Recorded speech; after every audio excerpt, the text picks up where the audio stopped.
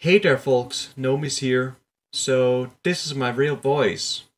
Well, technically it's not the first time that I've talked in a video. First of all, I of course voiced Terra in my lip syncing test. And second of all, I have a second channel which has a totally different topic. But here you go anyway.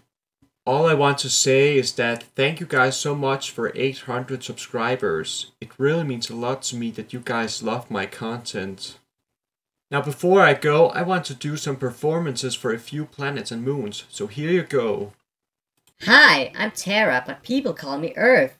I'm the only habitable planet in the solar system. Mom, everyone knows that. Could you please stop talking about it all the time? Oh, yeah, Lunar, I totally forgot.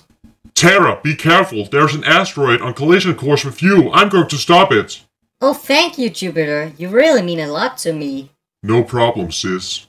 Ugh, why do you always take more care of Aunt Terra than your own daughter, Dad? Shut up, Io. It's because you're such a troublemaker. Why can't Grandpa take care of Terra instead? It's because I'm a star, Io. Exactly. If I was too close to solar, my surface would melt. Whatever. God, I'm so tired of being a dwarf planet. So there you have it folks. Thank you guys for watching and I'll see you all in my next video. So peace out everyone.